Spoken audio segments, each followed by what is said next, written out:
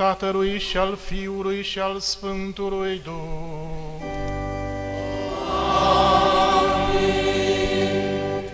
Harul Domnului nostru Isus Hristos și dragostea lui Dumnezeu Tatăl și împărtășirea Sfântului Duh să fie cu voi toți.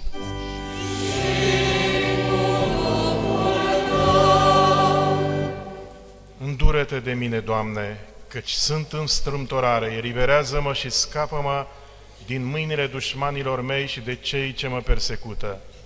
Doamne, să nu fiu făcut de rușine, căci am strigat spre Tine. Iubiți credincioși, după ce am celebrat calea Sfintei Cruci și am meditat suferințele Mântuitorului, celebrăm acum jertfa Sfintei Liturghii, ascultăm și în seara aceasta lecturile și continuăm misiunile populare. Ne recunoaștem păcatele, îi cerem Domnului iertare ca să celebrăm această Sfântă Liturghie cu vrednicie. Mărturisesc lui Dumnezeu Atotputernicul și vouă, fraților, că am păcătuit prea mult cu gândul, cuvântul, cu fapta și omisiunea. Din vina mea, din vina mea, din prea mare vina mea.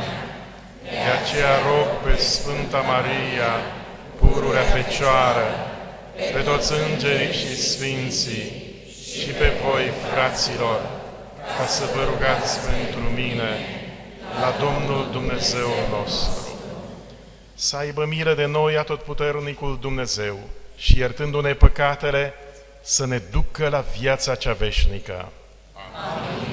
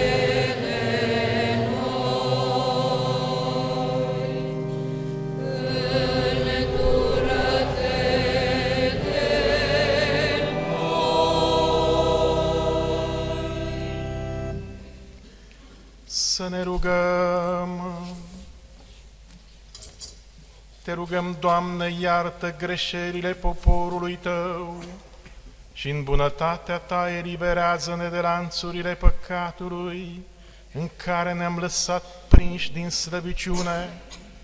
Prin Domnul nostru Isus Hristos, Fiul Tău, care fiind Dumnezeu împreună cu Tine vețuiește și domnește în unire cu Duhul Sfânt în toți vecii vecilor.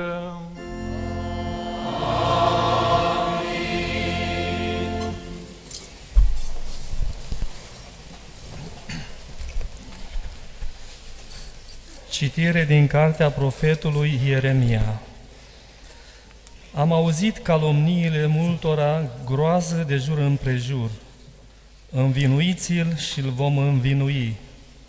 Toți prietenii mei mă pândesc, dacă mă clatin, poate va fi sedus și vom putea să-l biruim și ne vom lua răzbunarea față de el.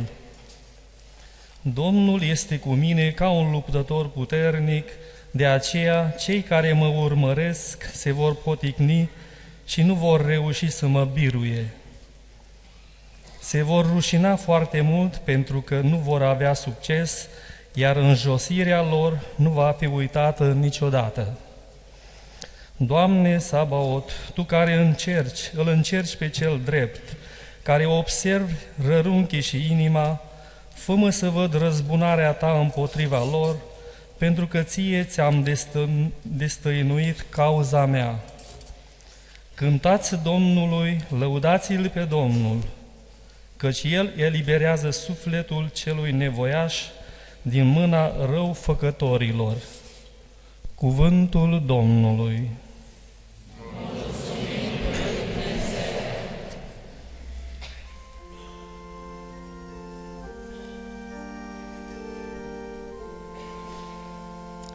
În strâmtorarea mea l-am chemat pe Domnul și El mi-a auzit glasul.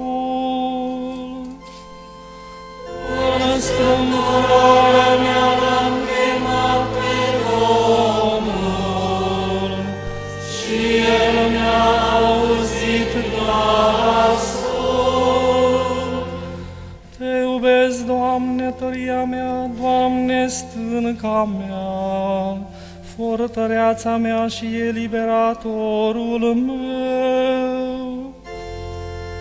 În strâmtorarea mea l-am chemat pe Domnul și El mi-a auzit glasul.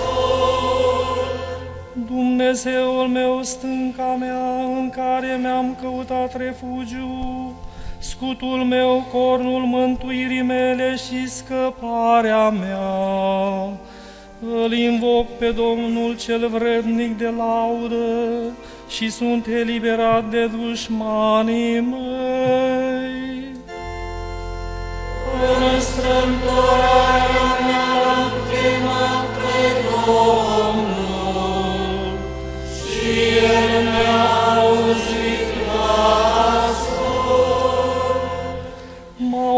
M-au împresurat legăturile morții și m-au îngrozit răurile pieirii. M-au înconjurat legăturile locuinței morților și m-au întâmpinat lațurile morții. În strâmtorarea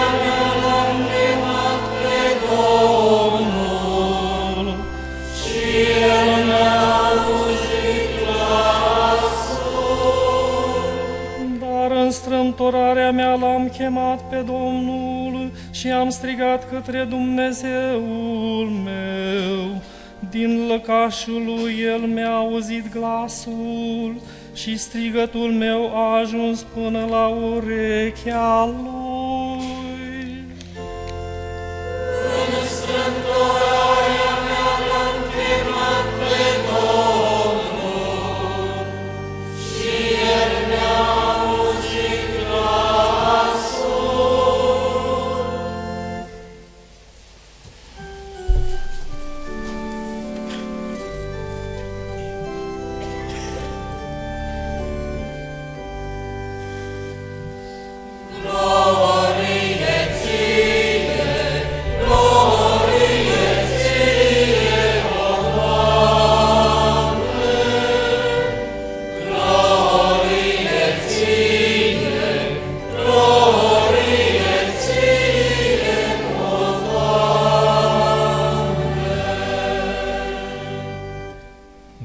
Dumnezeu era în Hristos împăcând lumea cu sine și punând în noi cuvântul reconcilierii.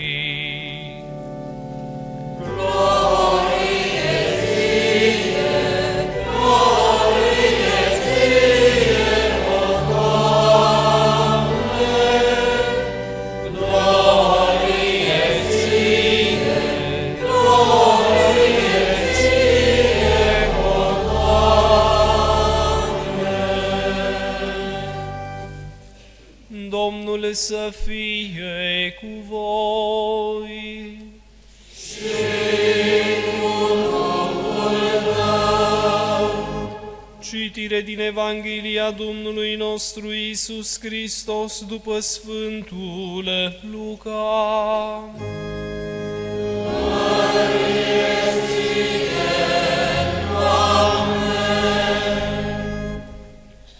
În acel timp, Isus a mai spus această parabolă unora care se credeau în sine drepți și îi disprețuiau pe alții.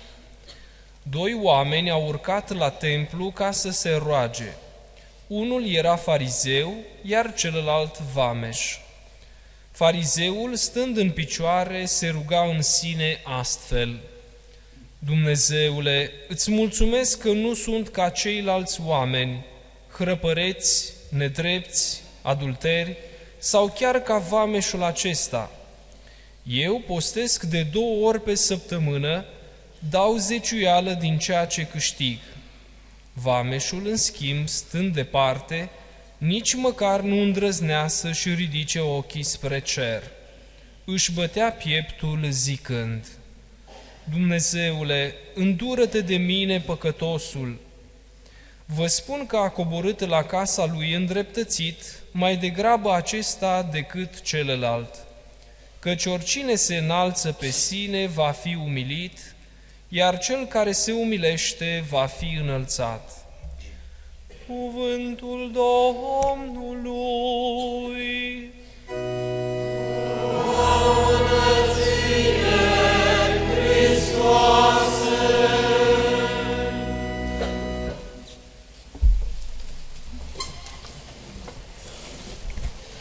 Lăudați să fie Isus și Maria!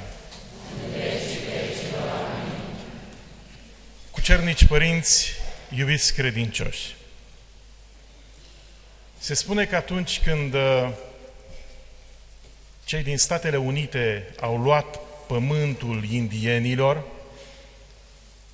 și au construit pe ele căi ferate și alte lucruri, ca să nu se tot răscoale indienii, după ce au uh, construit un tronson de cale ferată, au luat mai multe căpetenii ca să le arate că n-au pierdut pământurile degeaba și i-au dus cu trenul mai multe stații.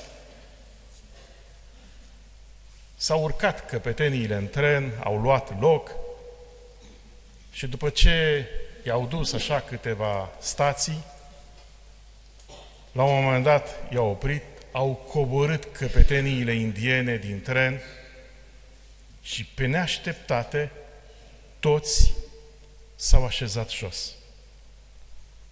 Și cei care i-au dus au rămas mirați. Sunt obosiți, doar au stat în tren, jos. Cum de s-au așezat jos? Acum ei, ei uh, se așteptau să, să le povestească cum s-au simțit în tren. Și s-a apropiat unul dintre ei și le-a zis, ei, dar de ce v-ați așezat? Cum a fost cu trenul? nu e așa că a fost bine? Și căpetenii le-au răspuns, ne-am așezat că am mers prea repede. A rămas spiritul în urmă. Acum trebuie să așteptăm să vină spiritul după noi. Ne-am deplasat cu o viteză prea mare. Ceea ce au spus căpeteniile exprimă un adevăr și pentru noi. De multe ori constatăm că mergem cu trupul înainte, că ne zbatem pentru ziua de mâine, dar rămâne sufletul în urmă. Ne plângem mereu că nu avem timp. Nu avem timp să venim la misiuni, nu mai avem vreme să ne spovedim, nu mai avem vreme să ne rugăm, spiritul, sufletul a rămas în urmă. Și este aceeași constatare pe care o facem toți. Pe măsură ce amânăm spovada, tot mai greu ne vine să ne spovedim. E ca în acea povestire care spune că un om s-a dus să se spovedească și a spus, Părinte, nu m-am spovedit de 24 de ani. Și Părintele i-a zis, omule, păi de ce n-ai mai așteptat un an? Am fi făcut sărbătoare, jubileu, 25 de ani. Un an mai trebuia.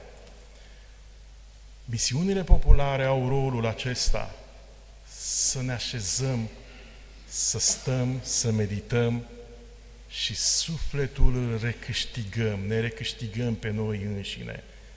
A rămas în urmă și el vine acum și se așează împreună cu trupul ca să putem merge înainte întăriți. Și am început aceste misiuni populare cu tema aceasta, milostiv precum Tatăl. Ne-am apropiat de pildele spuse de Mântuitorul, pildele milostivirii, opt pilde avem de tratat în seriile acestea și ușor, ușor am înțeles că vine milostivirea de la Dumnezeu. Și atunci când ne întoarcem la El, când revenim din păcatele noastre și ne apropiem de El, El ne iartă și ne copleșește cu tot harul Său. E milostivirea care vine de sus. Dar apoi El spune că trebuie să devenim oameni ai milostivirii.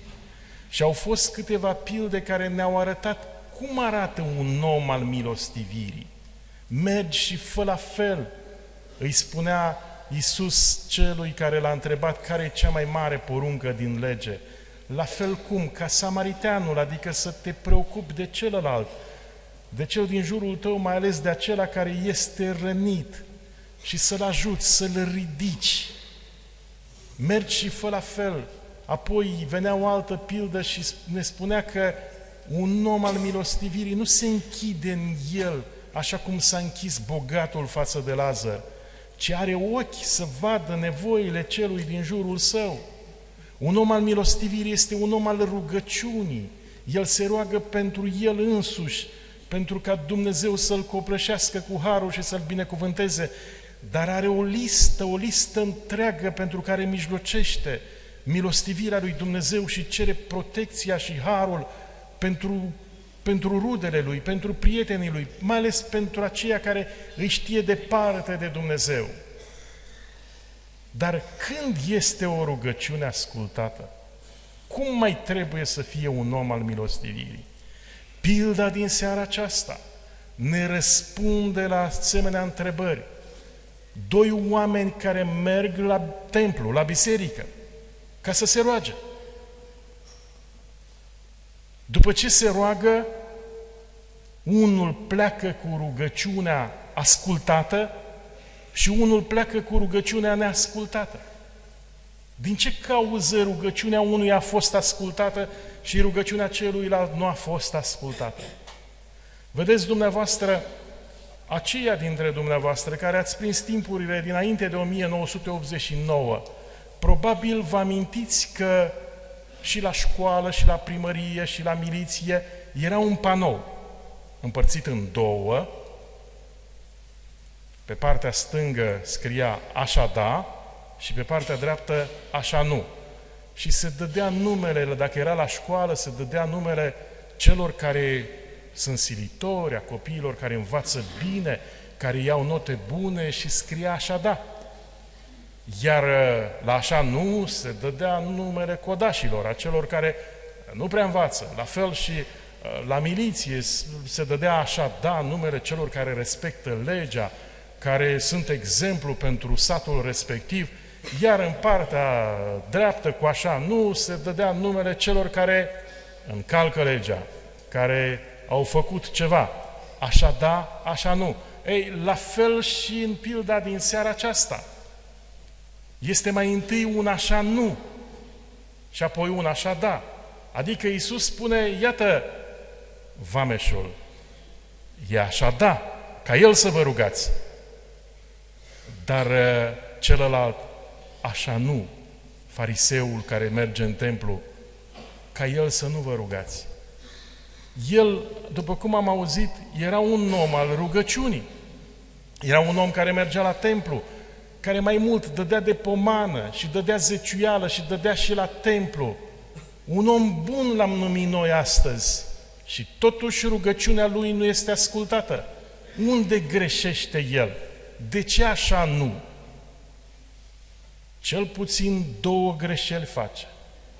Mai întâi că începe să se laude înaintea lui Dumnezeu.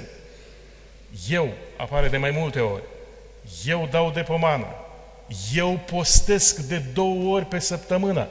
Ce interesant, de două ori pe săptămână. Nouă ne vine greu să postim în Miercurea Cenușii și în Vinerea Mare, dar apoi de două ori pe săptămână. E mult. El postea de două ori pe săptămână, dar se lăuda cu lucrurile acestea pe care le făcea. Și asta, lucrul ăsta nu-i place lui Dumnezeu. Asta e semnul mândriei. Când întâlnim oameni care încep să se laude cu faptele lor, ne displac nouă înșine, dar apoi lui Dumnezeu. Când îl întâlnim pe unul și începe să spună câte a făcut el, nu e în ordine, e începutul căderii. Îmi amintesc de cineva care spunea, cu cât cunoști un om mai îndeaproape, cu cât îți dai seama cine este. Și de aceea spunea el, este bine ca pe oameni să nu-i cunoști decât de departe, pentru că atunci ți se par toți buni. Dar cu cât te apropii de un om ca să-l știi mai mult, să-l cunoști mai mult, îi vezi defectele. Și a început să spună defectele unuia, defectele altuia, ă, eu știu, greșelile unuia și păcatele altuia. Și la un moment dat, interlocutorul l-a, oprit și a spus, dar în cele din urmă, cunoști vreun om bun? Și el a stat un pic, s-a gândit, a tras aer în piept și a spus, da, eu sunt. Și a început să povestească toate lucrurile bune pe care le-a făcut în săptămâna aceea. Toți erau răi, el era bun și se lăuda cu faptele lui. La fel face fariseul, se laudă. Eu postesc, eu dau de pomană, eu, eu. Nu-l cunoștea pe tu, pe el, ce fac ceilalți. Apoi, a doua greșeală este că se compară cu ceilalți. Eu nu sunt cum sunt alții în păcat. Nu săvârșesc adulter. Nu sunt hrăpăreți cum sunt alții. Și nu sunt nici măcar ca vameșul acesta din spate. Se compară cu ceilalți și îi disprețuiește pe ceilalți. Și de multe ori, asemenea oameni sunt și în zilele noastre și ne descoperim pe noi înșine. Noi suntem cei mai buni. Cei mai buni în casă, fără noi nu s-ar putea face nimic, fără noi la serviciu nu s-ar descurca. Dacă n-am fi noi, cei din familie, le-ar mânca câinii din traistă și tot așa folosim vorbe din acestea și chiar dacă avem greșeli, ei, greșelile noastre sunt mici în comparație cu ale altora. Și oricât de multe greșeli am avea, mereu, mereu găsim pe altul care a făcut mai multe greșeli ca să ne comparăm cu el. Îmi amintesc de un om căruia îl invitam să se întoarcă de pe calea băuturii și să vină la biserică, să se roage ca Dumnezeu să-l scape de o asemenea patimă. Și răspunsul lui a fost următorul. Părinte, zice, mai beau și eu, dar nu ca, și mi-a dat un nume care cade în șanț mereu. El bea, dar rămânea în picioare. Vecinul, în schimb, bea și cădea prin șanț. Ei, comparația aceasta suntem obișnuiți de la școală chiar, să ne comparăm cu alții. Amintiți-vă când veneam acasă de la școală cu un șase, de exemplu, și părinții ne certau și spuneau, șase, păi asta e notă. Răspunsul nostru era, am luat șase, dar să vezi, colegul meu a luat cinci, patru și câte note de patru și de cinci au fost, nota mea e bună. La fel face fariseul. Se compară cu alții și lucrul acesta nu-i place lui Dumnezeu.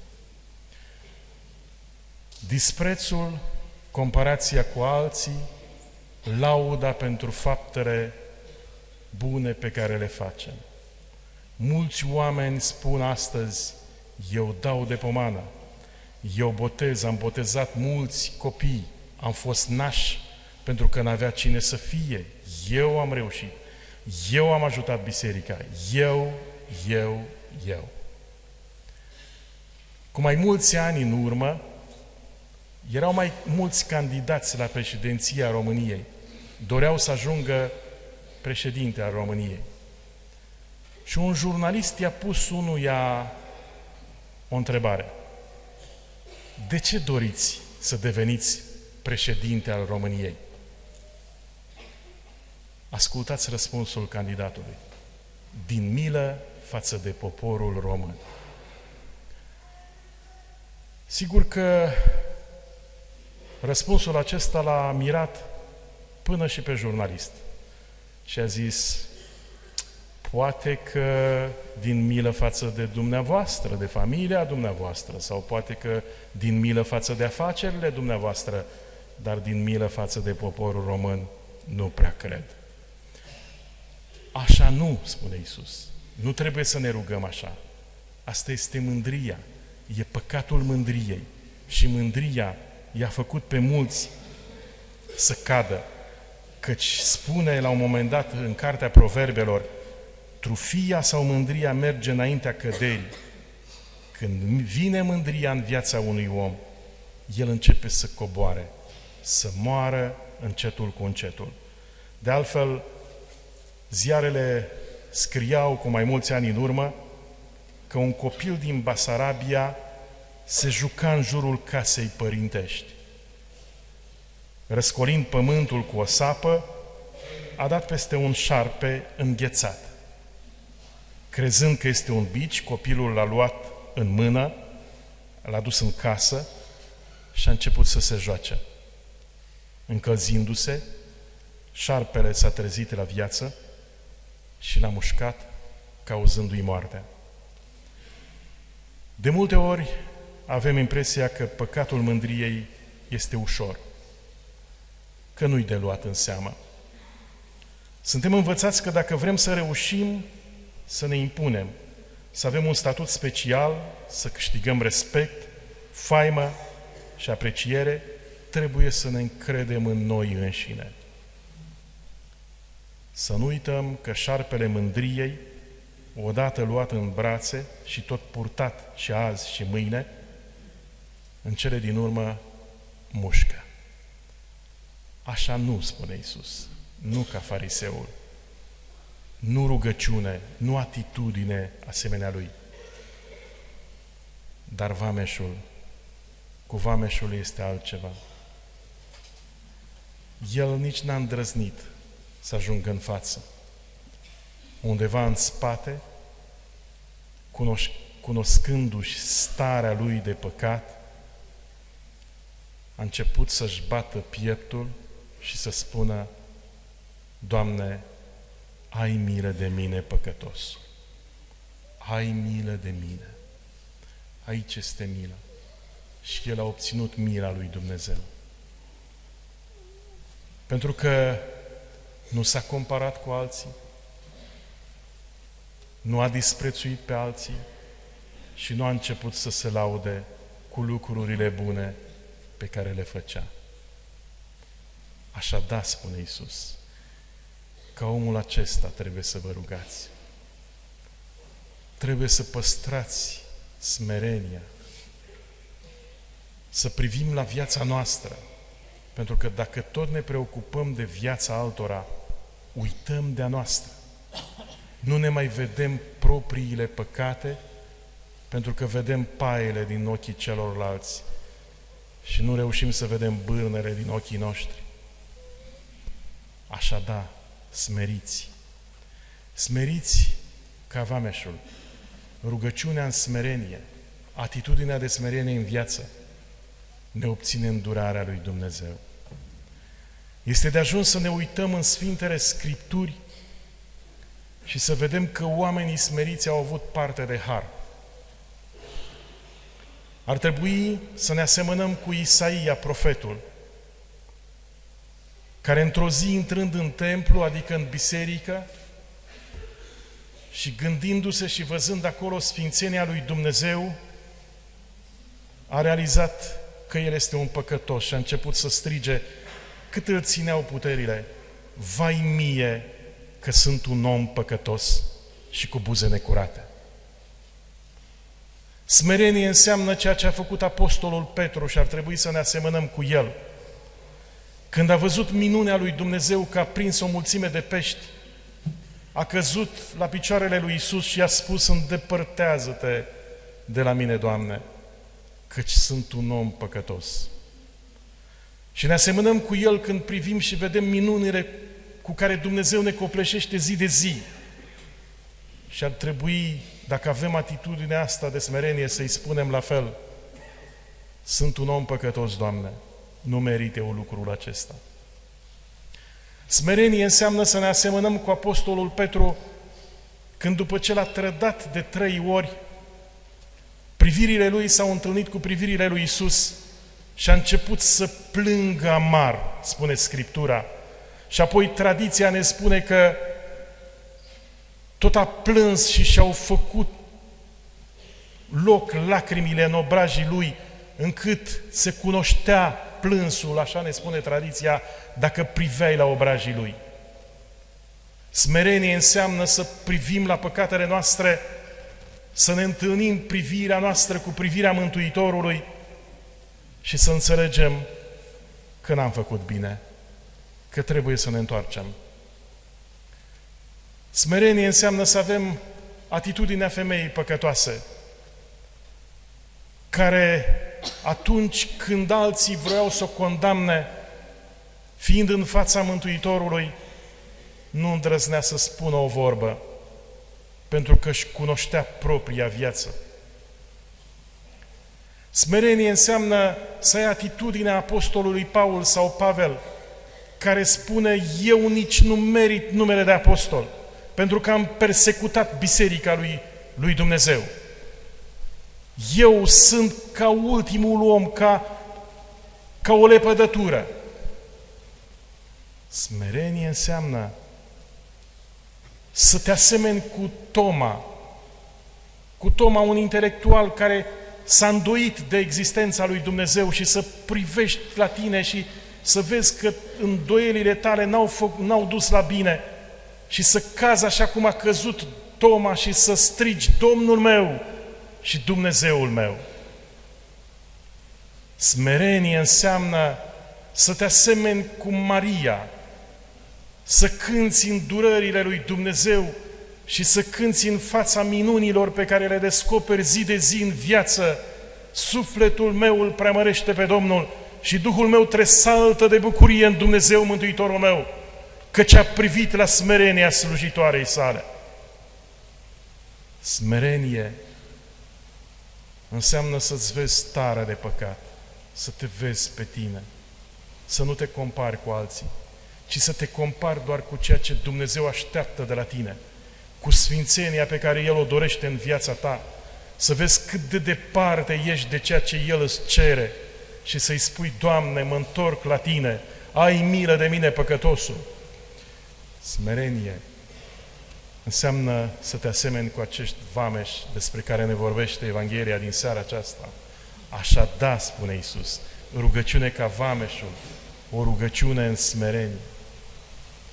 Iubiți credincioși, tot așa se povestește că la ușa unui om bogat a bătut într-o dimineață slujitorul lui, cel care avea grijă de animalele lui, de oile lui. I s-a deschis ușa, a coborât bogatul și l-a văzut pe Ioan, slujitorul lui, cu căciula luată din cap, ținută în mână și stingher a călcat pe covor și hainele lui contrastau puternic cu bogăția din casa bogatului. Ce, Ioane, de ce ai venit așa dimineață? Domnule, am îndrăznit acesta. Îmi cer iertare, dar aș vrea să vă spun un lucru important. Hai, spune! Domnule, am visat azi noapte. Azi noapte am visat. Că astăzi, la ora 12 de noapte, va muri cel mai bogat om de pe valea aceasta. Vise, Ioane. Tu crezi în vise, Domnule. Visul era ca și cum ar fi fost în realitate și eu, eu Am considerat de datoria mea să vă spun lucrul acesta. Du-te, Ioane, la treabă. Din cauza asta poate ai timp să visezi, că nu prea lucrezi. Și a plecat slujitorul la munca lui. Bogatul, urcând scările în camera lui, a intrat la idee. Totuși, dacă la 12 de noapte se va întâmpla ce a visat slujitorului. Și pentru că a intrat la idee, s-a dus la medicul lui. A cerut să-i se facă un control. Medicul l-a controlat și a, el a garantat că este sănătos tun și a spus o să mai trăiești mulți ani de acum înainte. S-a întors boierul acasă. Dar gândul acesta că s-ar putea ca el să fie cel care are să moară, nu-i dădea pace. De aceea când s-a făcut ora 10, l-a chemat pe doctor la el acasă și i-a spus, vino să luăm cina împreună. Au așezat masa, au început să ia cina și când s-a făcut 11, doctorul a dat să plece că e târziu. Dar bogatul i-a zis, mai rămâi, mai rămâi puțin, mai servim ceva, mai vedem. La 11 jumătate la fel s-a dat să se ridice și a mai insistat uh, bogatul, încă puțin, mai rămâi puțin. Când a bătut ora 12, bogatul a răsuflat ușurat. Era în viață. Nu s-a întâmplat nimic cu el.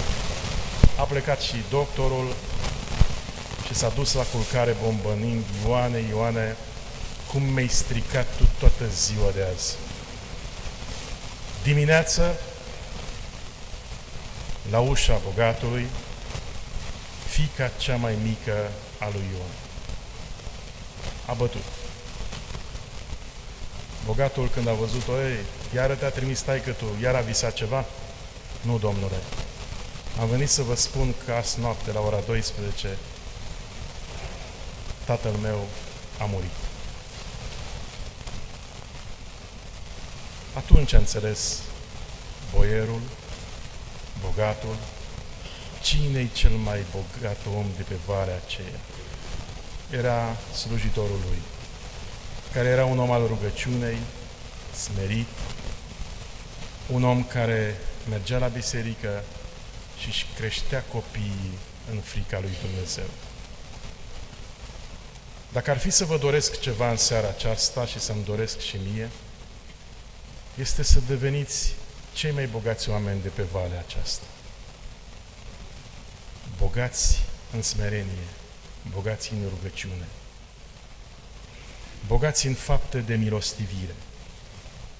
Tragedia este că de fiecare dată de la Sfânta Liturghie, în bisericile noastre, din bisericile noastre, mulți pleacă acasă în tocmai ca fariseul la fel cum au venit. Aceleași păcate, aceleași probleme, aceeași viață murdară, aceeași viață bună în ochii lor, dar neplăcută în ochii lui Dumnezeu. Am vrea, mult am vrea să avem atitudinea vameșului. De aceea să stăm un moment în seara aceasta, înaintea lui Dumnezeu, și ne îndrăznind să ridicăm ochii, să ne privim pe noi înșine, să ne privim sufletul nostru și apoi să spunem ca vameșul, Doamne, fieți milă de mine, păcătos. Să fim oameni care să înțelegem că oricât de bune am fi, în ochii lui Dumnezeu nu suntem în ordine. Păcătos, este cuvântul care se potrivește cel mai bine în dreptul vieții noastre. Să fim oameni care să plecăm în seara aceasta și de fiecare dată când venim de la biserică să plecăm altfel de la liturghie, cu rugăciune ascultată. Cum plecăm de la această liturghie? Aceasta e întrebarea pe care ar trebui să ne punem în seara aceasta. Există un psalm, psalmul 10, și la un moment dat psalmistul se roagă, Doamne, păzește-l pe robul tău de mândrie ca să nu stăpânească ea peste mine. Atunci și numai atunci voi fi fără prihană, nevinovat de păcate mari. Amin. Lăudați să fie Isus și Maria.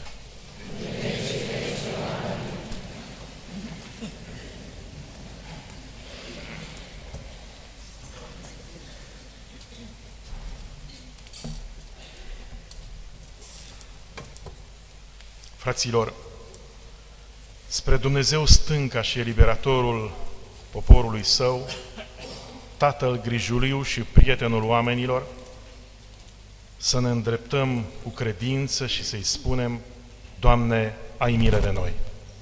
Doamne, ai milă de noi! Doamne, viața cea nouă a lui Hristos nu a pătruns încă în toate culturile și nu a cucerit toate inimile. De aceea noi te rugăm. Doamne, ai milă de noi! Doamne, uneori creștinii se dovedesc a fi martori destul de timizi a Evangheliei, iar ținta împărăției apare încă foarte îndepărtată.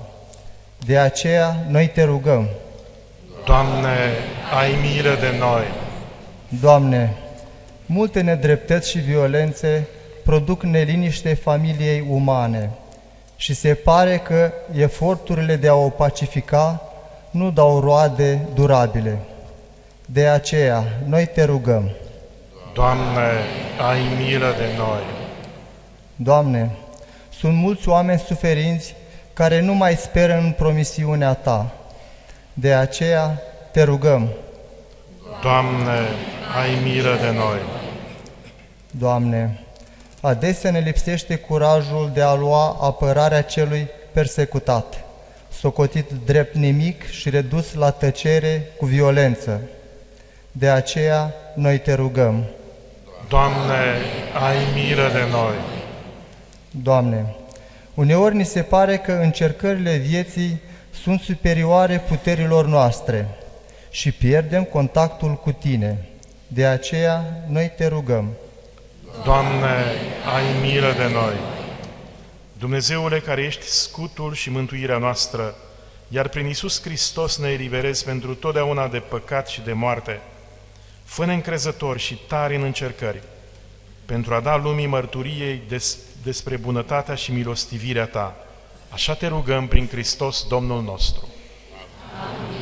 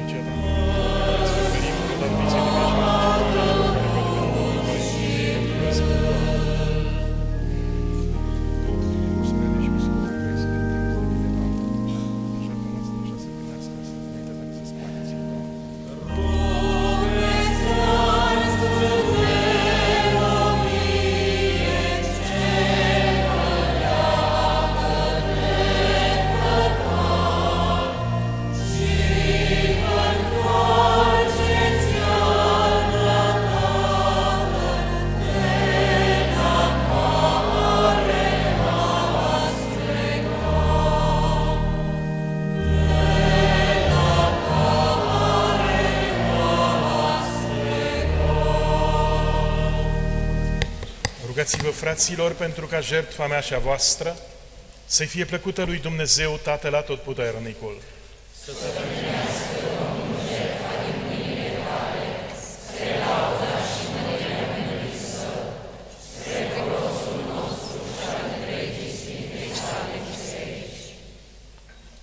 Dumnezeule milostiv, dă-ne, te rugăm, harul să ne învrednicim a sluji mereu cum se cuvine la altarul Tău și luând necontenit parte la Sfânta Jertfă, să ajungem la mântuire prin Hristos Domnul nostru. Amin. Domnul să fie cu voi. Sus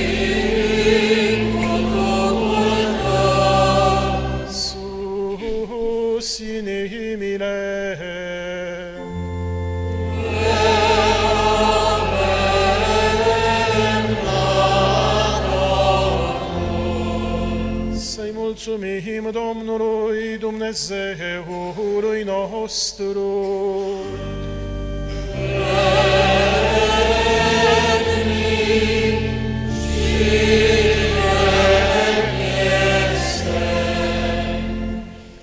Cu adevărat vrednic și drept de cuvință și mântuitor lucru este să-ți aducem mulțumiri pururea și în tot locul, ție, Doamne Părinte Sfânt, atotputernic, veșnic Dumnezeu, căci prin suferința Fiului Tău, aducătoare de mântuire, Universul a ajuns la cunoașterea maestății Tale, vrednice de închinare, deoarece negrăita puterea crucii ne vestește judecata lumii și biruința glorioasă a celui răstignit.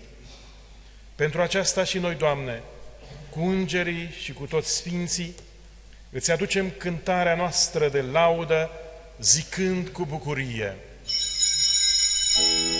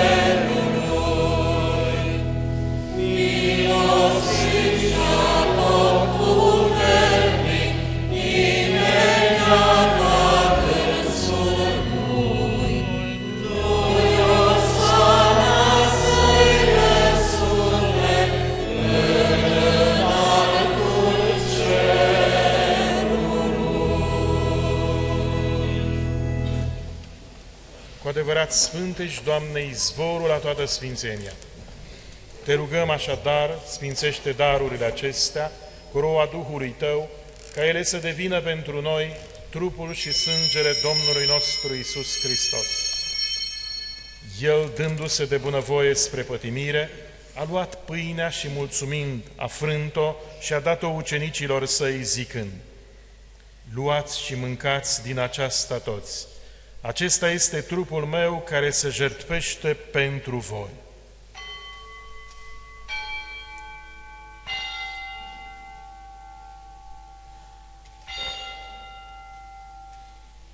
De asemenea, după cină, luând potirul și din nou mulțumind, l-a dat ucenicilor săi zicând, Luați și beți din acesta toți, acesta este potirul sângelui meu, al noului și veșnicului legământ, care pentru voi și pentru mulți se varsă spre iertarea păcatelor.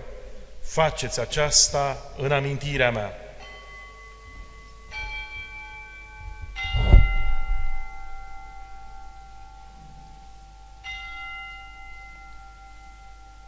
Misterul credinței. Moartea ta o vestim, Doamne, și învierea ta o mărturisim, până când Celebrând așadar moartea și învierea Fiului Tău, îți oferim, Doamne, pâinea vieții și potirul mântuirii, mulțumindu-ți că ne-ai învrednicit să stăm înaintea Ta și să-ți slujim Ție. Te rugăm cu umilință să ne unească Duhul Sfânt pe noi, care ne face împărtași de trupul și sângele lui Hristos. Aduce aminte, Doamne, de biserica Ta, răspândită pe întregul pământ, ca să o desăvârșești în dragoste împreună cu Părintele nostru Papa Francisc, cu Episcopul nostru Petru, cu Episcopul Auxiliar Aurel și cu tot clerul. Adu-ți aminte, Doamne, și de frații noștri care au adormit în speranța învierii și de toți cei care au răposat în milostivirea Ta și primește-i să se bucure de lumina feței Tale. Te rugăm, ai milă de noi toți, pentru ca împreună cu fericita născătoare de Dumnezeu, Fecioara Maria, cu Sfântul Iosif, soțul ei, fericiții apostoli și cu toți sfinții pe care din veci ai iubit, să ne învrednicim a fi părtași de viața cea veșnică, să te lăudăm și să te preamărim prin Isus Hristos, Fiul Tău. Prin Hristos, cu Hristos și în Hristos, Ție, Dumnezeule, Tată atotputernic, în unire cu Duhul Sfânt, toată cinstea și mărirea în toți vecii vecilor.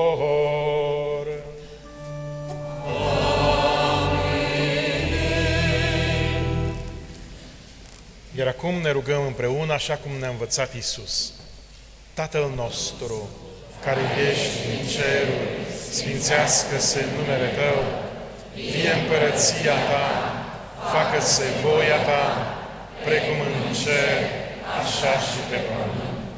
Pâinea noastră, cea de toate zilele, dă-ne nouă astăzi și ne iartă nouă greșelile noastre, precum și noi iertăm greșiților noștri și nu ne duce pe noi în ispită, ci ne mântuiește de cel rău.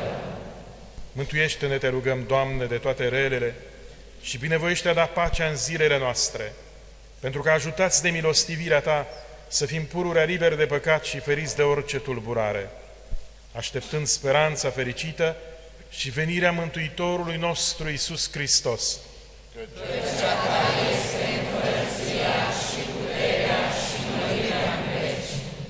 Doamne Iisuse Hristoase, care le-ai zis apostolilor tăi, pace vă las vouă, pacea mea o dau vouă. Nu privi la păcatele noastre, ci la credința bisericii tale. Și binevoiește-i dărui pacea și unirea după voința ta, care vețuiești și domnești în vecii vecilor. Amin. Pacea Domnului să fie pururea cu voi. Și Dăruiți-vă un semn al păcii.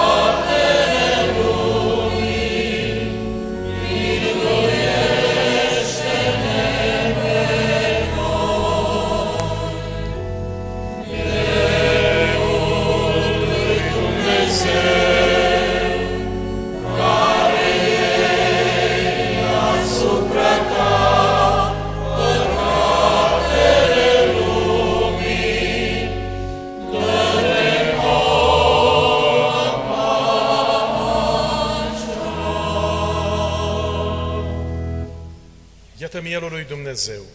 Iată-L pe acela care ia asupra sa păcatele lumii. Fericiți cei chemați la ospățul mielului. Doamne, nu sunt vrednic să intri sub acoperământul meu, dar spune numai un cuvânt și se va tămădui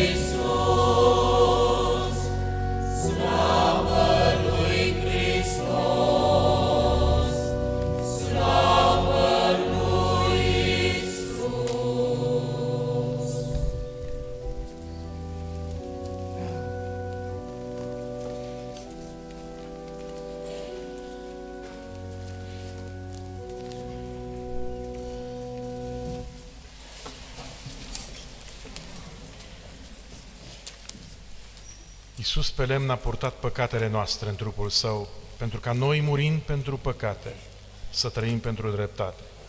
Prin rănile Lui am fost vindecați. Să ne rugăm. Taina pe care am primit-o, Doamne, să ne ocrotească neîncetat și să îndepărteze de la noi orice primejdie prin Hristos Domnul nostru. Îngerul Domnului a vestit Mariei. Bucură-te, Marie, cea plină de har, Domnul este cu tine, binecuvântată ești tu între femei și binecuvântat este rodul trupului tău, Iisus. Sfântă Marie, Maica lui Dumnezeu, roagă-te pentru noi păcătoșii, acum și în ceasul morții noastre. Amin. Iată roaba Domnului. Bucură-te, Marie, cea plină de har, Domnul este cu tine, binecuvântată ești tu între femei și binecuvântat este rodul trupului tău, Iisus. Sfântă Marie,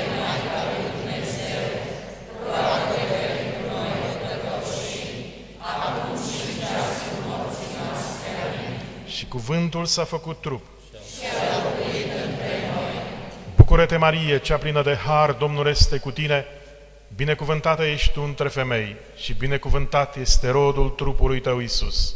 Sfântă Marie, Maica lui Dumnezeu, roagă-te pentru noi păcătoșii, acum și în ceasul morții noastre. Amin. Roagă-te pentru noi, Sfântă Născătoare de Dumnezeu. să ne rugăm.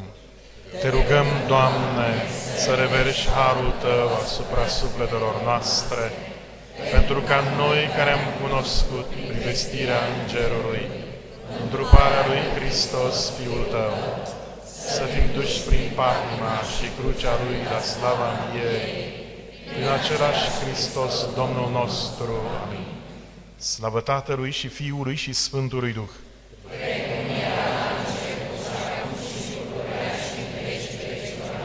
Slavă Tatălui și Fiului și Sfântului Duh!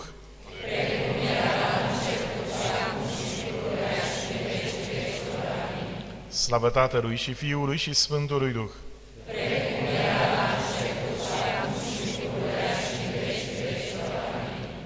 Îngerul lui Dumnezeu, care ești păzitorul meu, luminează-mă în această noapte. Păzește-mă, povățuiește-mă și ocrănuiește-mă pe mine, care sunt încredințați prin mila lui Dumnezeu. Amin. Ne închinăm ție, Hristoase, și te binecuvântăm.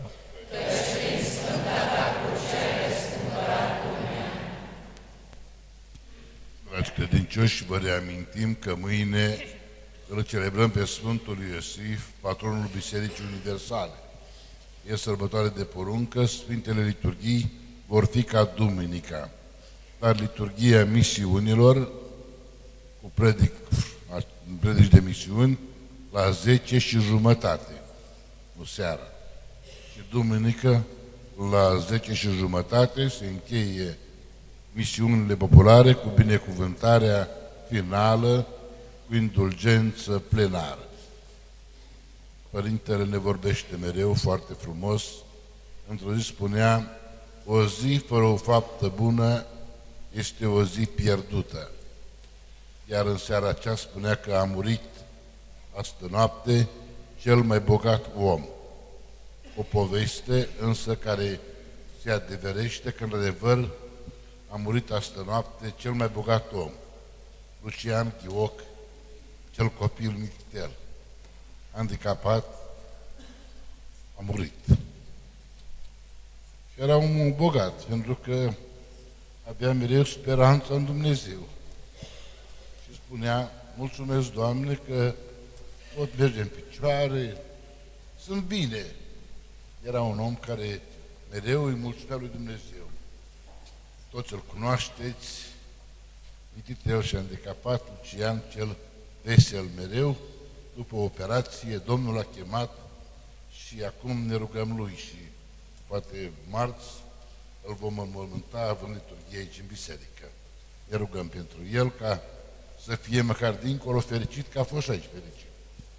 O seară frumoasă. Domnul să fie cu voi.